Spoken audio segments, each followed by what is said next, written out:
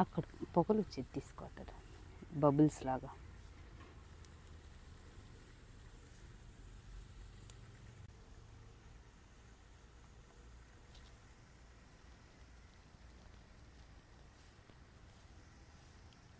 Rice ఇలా మెత్తగా ఉడికిపోయిందండి. ఒక సిక్స్ విజిల్స్ వచ్చిన తర్వాత ఒకసారి దగ్గర నుండి చూపించు. మొత్తం ఇలా మెత్తగా ఉడికిపోయింది. ఇప్పుడు మనం దీన్ని దద్దోజనంకి ఎలా చేసుకోవాలో చూసుకుందాం. ఈ బ్లాక్ రైస్తోనే దద్దోజనం దద్దోజనం చేసుకోవడం అండి బ్లాక్ రైస్తోనే ఆల్రెడీ మనం ఫస్ట్ చెప్పాను కదా టూ రెసిపీస్ బ్లాక్ రైస్తోనే నేను ఒకేసారి పొయ్యి మీద కుక్కర్ పెట్టేసుకొని ఇలా మెత్తగా ఉడికించేసుకున్నాను. బెల్లం పొంగల్ ప్రొసెసర్ అయితే మీరు చూసారు నెక్స్ట్ దద్దోజనం అండి. ఇలా ఉడికించి పక్కన పెట్టుకోవాలి. కావాల్సిన పదార్థాలు చిక్కటి పాలు పెరుగు పోపు దినుసులు నిమిషం. పోపు దినుసులు జీడిపప్పు కొద్దిగా ఆవు నెయ్యండి ఇది ప్రసాదంకి కూడా చాలా బాగుంటుంది. ముందుగా మనం పాలు కొద్దిగా వేడి చేసుకుందాం.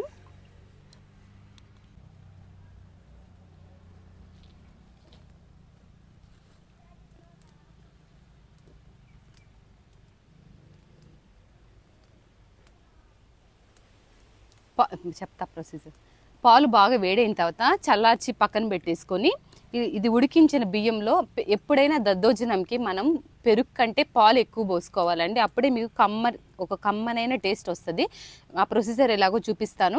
చాలా సింపుల్ చాలా హెల్దీ పిల్లలకి పెడితే కూడా చాలా బలం అండి. బ్లాక్ రైస్లో మామూలు వైట్ రైస్ మొత్తం పాలిష్ చేసేసి దాంట్లో అసలు ఏం న్యూట్రిషనల్ వాల్యూస్ ఉండదు. అదే ఈ బ్లాక్ రైస్తో కానీ రెడ్ రైస్తో కానీ ఇది నైట్ చేసేసుకొని దీంట్లో కొద్దిగా మజ్జిగో పెరుగు వేసేసి మార్నింగ్ తాగినా ఇంకా చాలా న్యూట్రిషనల్ వాల్యూస్ ఉన్నాయండి దీంట్లో. అలా అయినా చేసుకోవచ్చు. ఇది నైవేద్యం కోసం కాబట్టి నేను ఫ్రెష్గా చేస్తున్నాను. ఇది మన అమ్మవారికి ఉడికించిన బియ్యంతో రెండు రకాల నైవేద్యాలు చేసుకోవచ్చు అండి సింపుల్గా. చాలా హెల్దీ కూడా. ఇంట్లో పెద్దవాళ్ళు డయాబెటిక్ పేషెంట్స్ ఉన్నా కూడా ఇలాంటి బియ్యం ఈ ఈ బియ్యంతో చేసిన రైస్ ఇచ్చారనుకో మనం ఎక్కువ తినలేము. కొద్దిగా తింటాము. చాలా హెల్దీ కూడా అండి.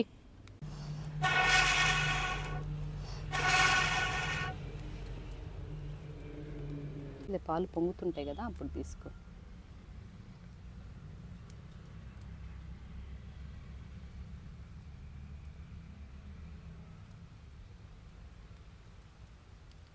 కొద్దిగా కష్టపడ్డాం అనుకోండి ఇలాంటి పొలంలో పొయ్యి మీద చాలా బాగా చేసుకు నాకు కూడా అలవాటు లేదు. మనమందరం స్టవ్ కల్చర్కి అలవాటు పడిపోయాం. కానీ ఈరోజు కొద్దిగా కష్టమైన ఈ విలేజ్ అట్మాస్ఫియరు ఇలా ఫీడ్స్లో చేసుకుంటే ఒక ఫీల్ ఉంటుంది. అది మనం పర్సనల్గా ఫీల్ అవ్వాలని ఇంత కష్టమైన ఈరోజు మీకు ఈ రెసిపీ షేర్ చేస్తున్నాను. నాకైతే మంచి ఎక్స్పీరియన్స్ వచ్చిందండి ఇలా ఫామ్లో కుక్ చేసుకోవడం. కొద్దిగా కష్టమైన హెల్దీ వర్షన్ కదా స్టవ్లో క్లోజ్డ్ సీల్డ్ అట్మాస్ఫియర్ కంటే ఇది చాలా హ్యాపీగా ఉందండి చేసుకోవడం. నేచర్ని ఆస్వాదిస్తూ.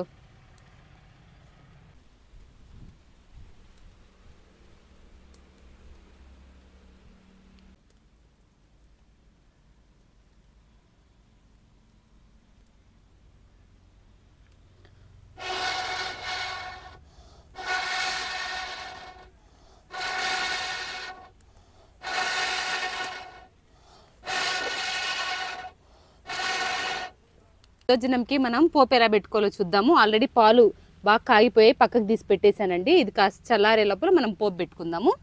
దానికి ముందుగా కావాల్సింది కొద్దిగా ఇందుక ఆవు నెయ్యి తీసుకున్నాను కదా అది కొద్దిగా. మనము గీ తీసుకోకూడదని రాంగ్ మిస్కన్సెప్షన్లో అసలు ఉండొద్దండి. తీసుకోవచ్చు. ఆవు నెయ్యి డైలీ వన్ స్పూన్ తీసుకుంటే మనకి చాలా మంచిది. బోన్ స్ట్రెంత్కి బాగుంటుంది. పిల్లలకు కూడా డైలీ వన్ స్పూన్ ఇవ్వండి చాలా మంచిది.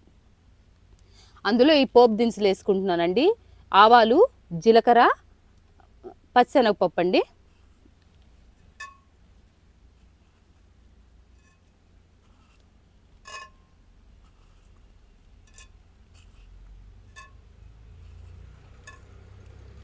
కట్ చేసుకో పోయి మండల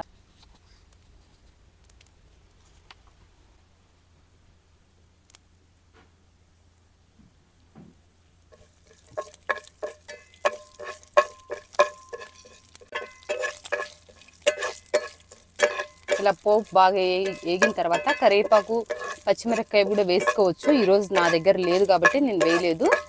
మీరు అల్ చిన్న చిన్న అల్లం ముక్కలు కూడా వేసుకోవచ్చండి. చాలా టేస్టీగా ఉంటుంది. నైవేద్యానికి కాబట్టి నేనైతే అల్లం ముక్కలు వేయటం లేదు.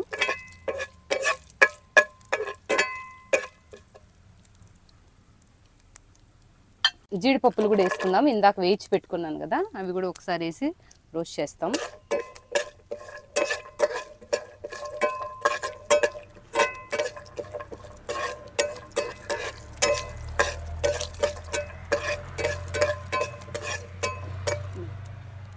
ముందుగా ఉడికించి పెట్టుకున్నాం కదండి. ఆల్రెడీ పాలు కాసుకొని పెట్టుకున్నాం కాబట్టి చిక్కటి పాలు వేసుకుంటే మీకు దద్దోజనం చాలా కమ్మగా ఉంటుంది. పిల్లలు కూడా ఇష్టంగా తింటారు. ఆ పాలు బాగా చల్లారిపోయాయి. ఇందులో కలిపేస్తున్నాను. దద్దోజనంకి మనం పాలు కూడా ముఖ్యంగా తీసుకోవాలండి. ఓన్లీ పెరిగే కాదు పాలు తీసుకుంటే కూడా మీకు ఆ టేస్ట్ కమ్మటి టేస్ట్ వచ్చేస్తుంది. బ్లాక్ రైస్తో ఏందని భయపడకండి. చాలా టేస్టీగా ఉంటుంది. ఒకసారి చేసుకోండి. ఇందులోనే మనం పెరుగు తీసుకున్నాం కదా ఆ పెరుగు కూడా దగ్గర నుండి తీసుకురావు. ఈ పెరుగు కూడా ఇలా వేసేసి బాగా ఇలా కలుపుకోవాలండి.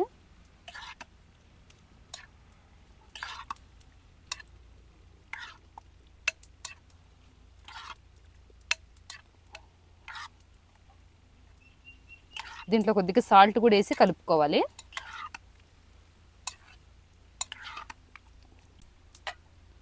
మనం ముందుగా రెడీ చేసుకున్నాం కదా ఆ పోపు దినుసులందు దీంట్లో వేసేయాలండి.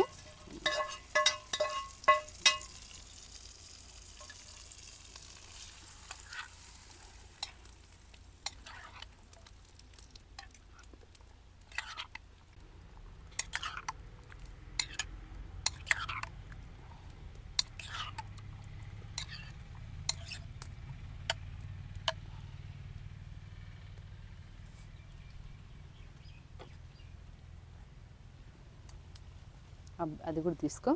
చూడండి టేస్టీ బ్లాక్ రైస్ దద్దోజనం రెడీగా ఉంది. దద్దోజనంతో పాటు బెల్లం పొంగల్ కూడా చేసుకొని అమ్మవారికి నైవేద్యంగా పెట్టుకోండి. హెల్దీ రెసిపీ హ్యాపీగా గిల్ట్ ఫ్రీగా తినొచ్చు.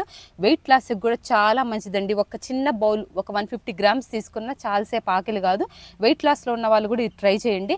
మరిన్ని మంచి రెసిపీస్ డైట్ వీడియోస్ కానీ ఎక్సర్సైజెస్ వీడియోస్ కోసం కానీ నా ఛానల్ సబ్స్క్రైబ్ చేసుకొని నన్ను ఫాలో అవ్వండి. అప్పటిదాకా బాయ్ మరి అడ్వాన్స్గా మీ అందరికీ వరలక్ష్మి వ్రతం శుభాకాంక్షలు అండి బాయ్ ఇదంతా తీసి